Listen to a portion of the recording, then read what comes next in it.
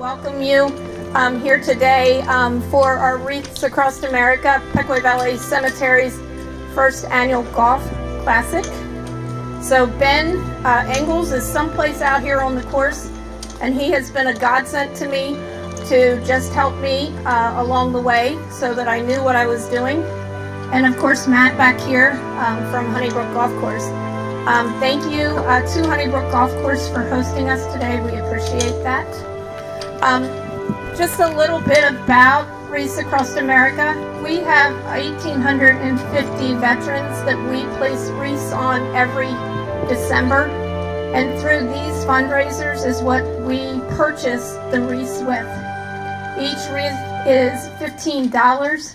So for me, I must raise almost $28,000 a year to make sure that every veteran in the Pequea Valley School District, we have 20 cemeteries in the Pequea Valley School District, and then two cemeteries in Octorara that we place wreaths on to honor our veterans.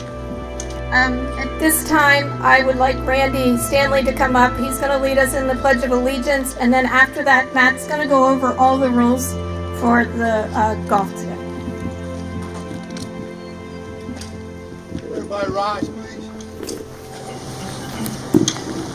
Pledge allegiance to the flag of the United States of America. and to the republic which stands, one nation, under God, indivisible, with liberty and justice for all. Thank you. All right, good morning, everyone.